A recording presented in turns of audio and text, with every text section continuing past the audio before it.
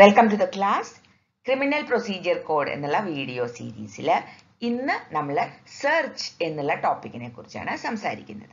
അപ്പോൾ നമുക്ക് എല്ലാവർക്കും അറിയാം അതായത് പോലീസിന് പലതരത്തിലുള്ള അധികാരങ്ങൾ സി ആർ പി സി കൊടുക്കുന്നുണ്ട്. എന്തിനാണ് ഈ അധികാരങ്ങൾ കൊടുക്കുന്നത്? കാരണം പോലീസ് ഫോഴ്സിനെ ഒരു ക്രൈം പ്രൂവ് ചെയ്യാൻ പ്രോസിക്യൂഷനെ സഹായിക്കാൻ വേണ്ടിയിട്ടാണ് രൂപപ്പെടുത്തിയിട്ടുള്ളത് അല്ലേ? അപ്പോൾ ആ രീതിയിൽ ഒരു ക്രൈം നമുക്ക് കോടതിയിൽ തെളിയിക്കണം. പ്രോസിക്യൂഷന്റെ ആവശ്യമാണല്ലോ ഒരാൾ കുറ്റം ചെയ്തു എന്ന് തെളിയിക്കേണ്ടത്. അപ്പോൾ അത് തെളിയിക്കാൻ നമുക്ക് എന്തൊക്കെ ആവശ്യമാണ്? പ്രധാനമായിട്ടും തെളിവുകളാണ് ആവശ്യം അല്ലേ? അപ്പോൾ ഈ തെളിവുകളൊക്കെ കോടതിയിൽ എത്തിക്കുക എന്നുള്ള ഒരു ഉത്തരവാദിത്വം പോലീസിനുണ്ട്. അപ്പോൾ അതിന് സഹായിക്കാൻ വേണ്ടിയിട്ട് കൊടുത്തിരിക്കുന്ന അധികാരങ്ങളിൽ പ്രധാനപ്പെട്ട ഒന്നാണ് സെർച്ച് ചെയ്യാനുള്ള അധികാരം. ഓക്കെ അപ്പോൾ ഇന്ന് നമ്മൾ സെർച്ചുമായി ബന്ധപ്പെട്ട് പോലീസിനുള്ള അധികാരങ്ങളെ കുറിച്ചും സി ആർ പി സിയിലുള്ള പ്രൊവിഷൻസിനെ കുറിച്ചുമാണ് മനസ്സിലാക്കാൻ പോണത്. ഓക്കെ അപ്പൊ നമുക്ക് നോക്കാം. യെസ് സെക്ഷൻ നയന്റി വൺ മുതൽ ഹൺഡ്രഡ് വരെയാണ് മെയിൻലി സെർച്ചിനെ കുറിച്ചിട്ട് സി ആർ പി സി പറയുന്നത്. അതിൽ തന്നെ സെക്ഷൻ നയന്റി വൺ പറയുന്നത് ഇപ്പോൾ ഒരു മെറ്റീരിയൽ ഒബ്ജക്റ്റോ അതല്ലെങ്കിൽ ഒരു ഡോക്യുമെന്റോ ഒരാളുടെ കസ്റ്റഡിയിലുണ്ട് എന്ന് കോടതിക്ക് ബോധ്യപ്പെട്ടു എന്ന് വിചാരിക്കുക അതായത് കുറ്റം കോടതിയിൽ തെളിയിക്കാൻ ആവശ്യമായ ഒരു ഡോക്യുമെന്റ് അല്ലെങ്കിൽ അതിനുള്ള ഒരു ഒരു ഒബ്ജക്റ്റ് മെറ്റീരിയൽ ഒബ്ജക്റ്റ് എന്ന് പറയുമ്പോൾ ഇപ്പോൾ കത്തിക്കുത്തിന്റെ കേസാണെങ്കിൽ കുത്താൻ ഉപയോഗിച്ച കത്തി. അല്ലെ? അതൊരു മെറ്റീരിയൽ ഒബ്ജക്റ്റ് ആണ്. അപ്പൊ അതുപോലുള്ള കോടതിക്ക് മുമ്പിൽ കുറ്റം തെളിയിക്കാൻ ആവശ്യമായിട്ടുള്ള ഒബ്ജക്ട്സ് എന്തെങ്കിലും എന്തുമാവാം? അപ്പോൾ കൗണ്ടർ ഫീറ്റിംഗ് കറൻസി നോട്ട്സ് കള്ളനോട്ട് അടിക്കുന്ന കേസാണെങ്കിൽ ആ കള്ളനോട്ട് അടിച്ചത് കള്ളനോട്ട് ഒരു മെറ്റീരിയൽ ഒബ്ജക്റ്റ് ആണല്ലോ. അങ്ങനെയുള്ള അപ്പൊ അത്തരത്തിലുള്ള മെറ്റീരിയൽ ഒബ്ജക്ട്സ് അതല്ലെങ്കിൽ ഡോക്യുമെന്റ്സ് ഒക്കെ ആരുടെയെങ്കിലും കസ്റ്റഡിയിലാണ് എന്ന് കോടതിക്ക് അറിയാം എന്ന് വിചാരിക്കുക. അല്ലെങ്കിൽ പോലീസിന് അറിയാം എന്ന് വിചാരിക്കുക. എന്താണ് വേണ്ടത്? കോടതി മുഖാന്തരം ഒരു സമൺസ് അയച്ചിട്ട് അയാളോട് ഇത് കോടതിയിൽ പ്രൊഡ്യൂസ് ചെയ്യാൻ പറയാം. സെക്ഷൻ നയന്റി വൺ കൊടുക്കുന്ന അധികാരം അതാണ്. സമൺസ് അയച്ച് ഇത്തരത്തിലുള്ള എവിഡൻസ് കോടതിയിൽ പ്രൊഡ്യൂസ് ചെയ്യാൻ ആവശ്യപ്പെടാം. അതാണ് ആദ്യത്തെ അധികാരം. ഓക്കെ ഇനിയോ? ഇപ്പോ സെക്ഷൻ നയന്റി വൺ പ്രകാരം സമൻസ് അയച്ചാൽ രണ്ട് കാര്യങ്ങളുണ്ട്.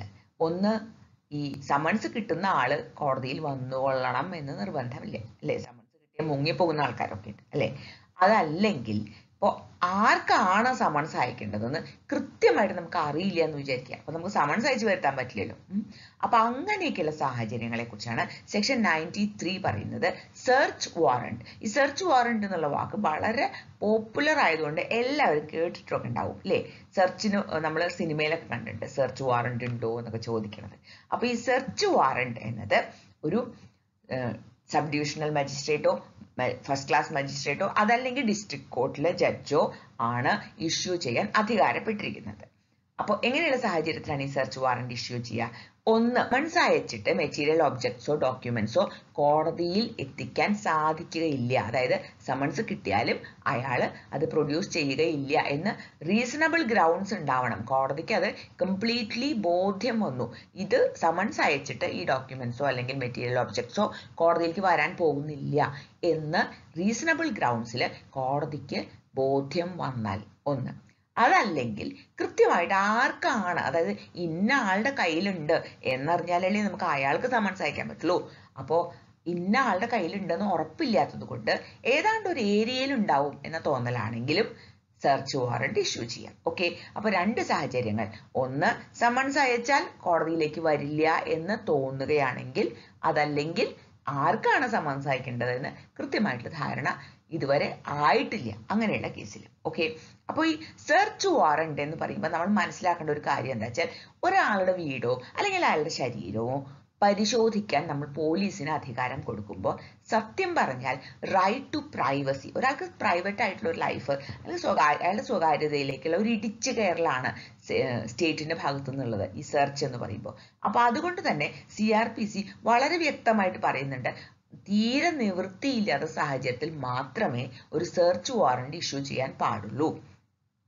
അതുകൊണ്ട് തന്നെ ഇത് ഇഷ്യൂ ചെയ്യുന്ന മജിസ്ട്രേറ്റ് സാധാരണ ഇത് ഇഷ്യൂ ചെയ്യുന്ന സാധാരണ ഇത് ഇഷ്യൂ ചെയ്യുന്നത് കോൺസ്റ്റബിളിനും മേലെങ്കിലും ഉള്ള ഒരു പോലീസ് ഓഫീസർക്ക് ആയിരിക്കണം അപ്പോൾ പ്രത്യേകമായിട്ട് പരിഗണിക്കണം. അതായത് അതായത് മറ്റൊരു സാഹചര്യത്തിലും ഈ എവിഡൻസ് കോടതിയിൽ എത്തിക്കാൻ പറ്റില്ല എന്ന് ബോധ്യപ്പെട്ടാൽ മാത്രമേ സെർച്ച് വാറണ്ട് ഇഷ്യൂ ചെയ്യാൻ പറ്റൂ.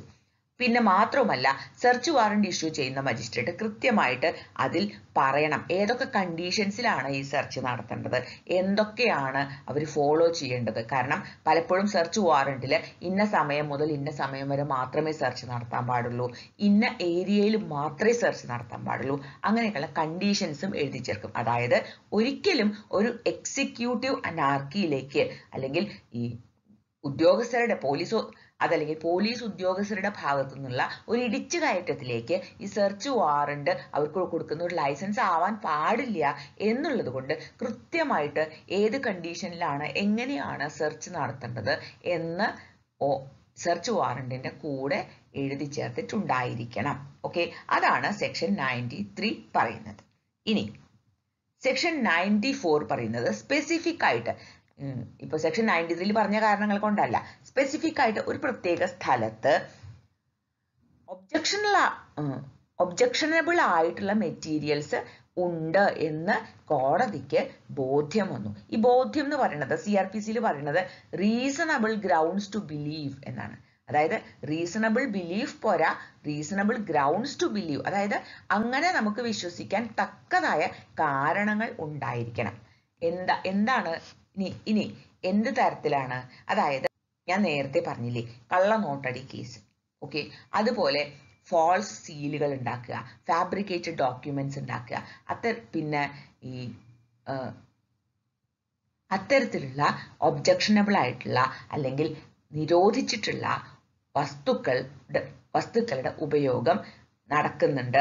അല്ലെങ്കിൽ അത്തരത്തിലുള്ള വസ്തുക്കൾ സ്റ്റോർ ചെയ്തിട്ടുണ്ട് എന്ന് കൃത്യമായിട്ടുള്ള ഇൻഫോർമേഷൻ കിട്ടിയ സ്ഥലങ്ങളിൽ സെർച്ച് ചെയ്യാൻ നയന്റി ഫോർ പ്രകാരം കോടതികൾക്ക് ഓർഡർ കൊടുക്കാം. പക്ഷെ അങ്ങനെ കൊടുക്കുമ്പോഴും ഏത് സ്ഥലത്താണ് സെർച്ച് നടത്തേണ്ടതെന്നും ആ സ്പെസിഫിക് ആയിട്ടുള്ള അതിന്റെ ലിമിറ്റ് ജോഗ്രഫിക്കൽ ലിമിറ്റേഷൻ എന്താണെന്നും ഒക്കെ ഈ സെർച്ച് വാറന്റിൽ എഴുതിയിട്ടാ എഴുതിയിട്ടുണ്ടായിരിക്കണം ഓക്കെ അപ്പോൾ ഒബ്ജക്ഷനബിൾ ആയിട്ടുള്ള മെറ്റീരിയൽ അതിപ്പോ കൗണ്ടർ ഫീറ്റിംഗ് കറൻസി ആവാം ഫാബ്രിക്കേറ്റഡ് ഡോക്യുമെന്റ്സ് ആവാം ഫോൾസ് സീലുകൾ ആവാം അല്ലെങ്കിൽ സ്റ്റോളൻ പ്രോപ്പർട്ടി ആവാം. ഇതിനെയൊക്കെ കണ്ടെത്താൻ വേണ്ടിയിട്ട് സെക്ഷൻ നയന്റി ഫോർ പ്രകാരം സ്പെസിഫിക് ആയിട്ടുള്ള ഒരു പ്ലേസിൽ സെർച്ച് ചെയ്യാൻ നേരത്തെ സ്പെസിഫിക് ആയിട്ടുള്ള ഒരു പ്ലേസിൽ സെർച്ച് ചെയ്യാൻ കോടതി ഓർഡർ കൊടുക്കാം. ഓക്കെ ഇനി സെക്ഷൻ നയന്റി ഫൈവ് പറയുന്നത് പബ്ലിക്കേഷൻസിനെ പറ്റിയിട്ടാണ്. അതായത് നിരോധിച്ച പുസ്തകങ്ങൾ. എവിടെയെങ്കിലും സ്റ്റോർ ചെയ്തിട്ടുണ്ട് അത് ഡിസ്ട്രിബ്യൂട്ട് ചെയ്യാൻ അവർ ഏതെങ്കിലും സ്ഥലം ഉപയോഗിക്കുന്നുണ്ട് എന്നൊക്കെയുള്ള ഇൻഫോർമേഷൻ കിട്ടിയാൽ നിരോധിച്ച പുസ്തകങ്ങൾ ഓക്കെ പബ്ലിക്കേഷൻസ് ഏത് തരത്തിലുള്ള പബ്ലിക്കേഷൻ ആണെങ്കിലും അതിനെ ബാൻ ചെയ്തിട്ടുണ്ടെങ്കിൽ അത് പബ്ലിക്കിന് ഡിസ്ട്രിബ്യൂട്ട് ചെയ്യാൻ പാടില്ലല്ലോ. അപ്പൊ അതിനുവേണ്ടി ഏതെങ്കിലും ഒരു സ്ഥലം ഉപയോഗിക്കുന്നുണ്ട് എന്ന് സെക്ഷൻ നയന്റി ഫോറിൽ പറഞ്ഞതുപോലെ തന്നെ കൃത്യമായിട്ടുള്ള ഇൻഫോർമേഷനും റീസണബിൾ ആയിട്ടുള്ള ഗ്രൗണ്ട്സും ഉണ്ടെങ്കിൽ കോടതിക്ക് ഒരു സെർച്ച് വാറണ്ട് ഇഷ്യൂ ചെയ്യുകയും അതുവഴി പോലീസ് ഓഫീസർക്ക് ചെന്ന് അത്തരത്തിലുള്ള മെറ്റീരിയലുകൾ ഉണ്ടോ എന്ന് പരിശോധിക്കുകയും അഥവാ ഉണ്ടെങ്കിൽ അതിനെ അവയെ കസ്റ്റഡിയിൽ എടുക്കുകയും ചെയ്യാം. ഓക്കെ ഇനി section ninety seven and ninety eight പറയുന്നത് ഇത് സെക്ഷൻ നയന്റി സെവൻ പറയുന്നത് നമ്മൾ മുമ്പ് ഹേബിയസ് കോർപ്പസിനെ കുറിച്ചൊരു വീഡിയോ ചെയ്തു. നിങ്ങളത് കണ്ടിട്ടില്ലെങ്കിൽ അതിന്റെ ലിങ്ക് ഞാൻ ഡിസ്ക്രിപ്ഷൻ ബോക്സിൽ ഇടാം. ഹേബിയസ് കോർപ്പസ് എന്നുള്ള റിട്ട് എന്തിനു വേണ്ടിയിട്ടാണ് ഉപയോഗിക്കുന്നത്?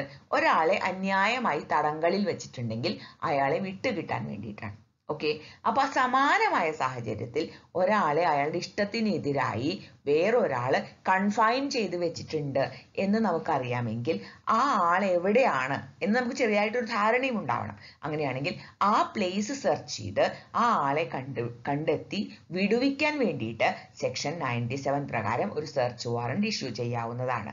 സാധാരണ ഹേബിയസ് കോർപ്പസ് ഉപയോഗിക്കാത്ത സാഹചര്യങ്ങളിൽ. ഇപ്പോൾ ഉപയോഗിക്കാത്ത സാഹചര്യങ്ങളിൽ. ഇപ്പം അതായത് ഹസ്ബൻഡ് വൈഫിനെ വൈഫിന്റെ ഇഷ്ടത്തിനെതിരായിട്ട് ഇൻലോസോ മറ്റാരെങ്കിലും ഒക്കെ തടഞ്ഞു വെച്ചിട്ടുണ്ട് എന്ന് പറഞ്ഞുകൊണ്ട് സെക്ഷൻ നയന്റി സെവൻ പ്രകാരം ഒരു സെർച്ച് വാറണ്ടിന് അപ്ലൈ ചെയ്യാം.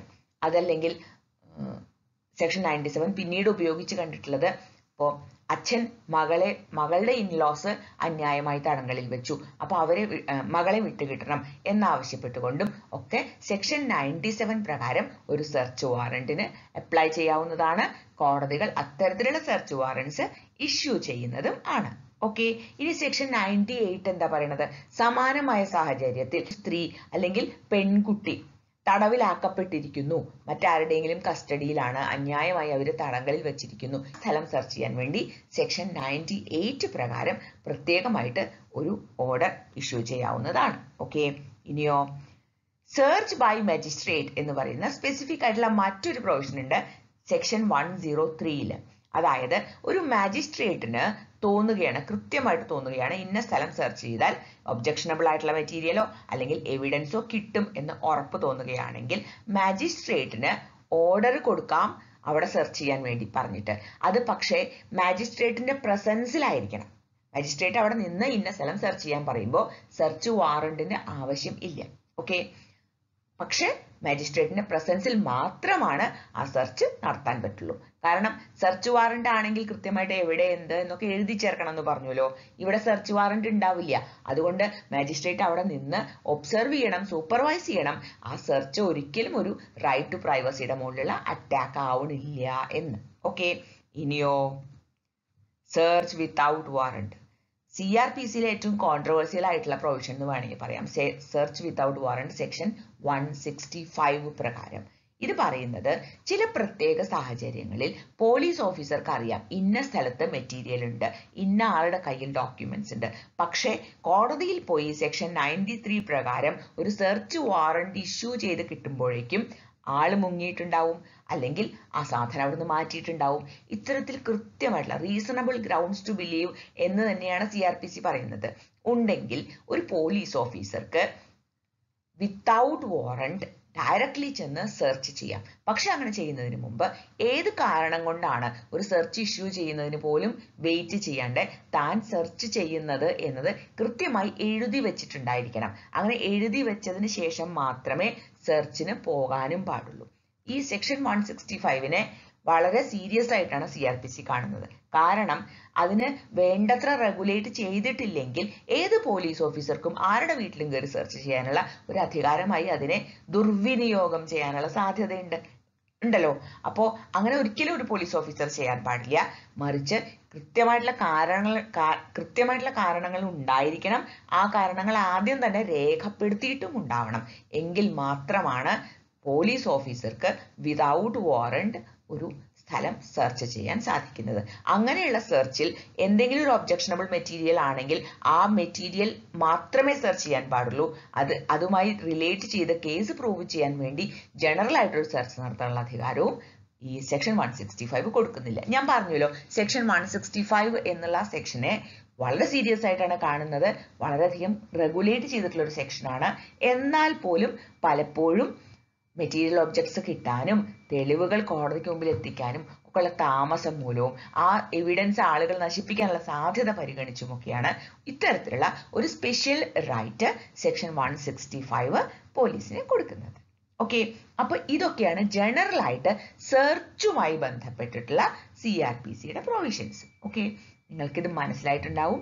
നിങ്ങൾക്ക് ഇനി എന്തെങ്കിലും സംശയങ്ങളുണ്ട് എന്തെങ്കിലും ക്ലാരിഫിക്കേഷൻസ് ആവശ്യമുണ്ട് കൂടുതൽ എന്തെങ്കിലും ആഡ് ചെയ്യാനുണ്ടെങ്കിൽ please make use of my comment box. I'll be very happy to help.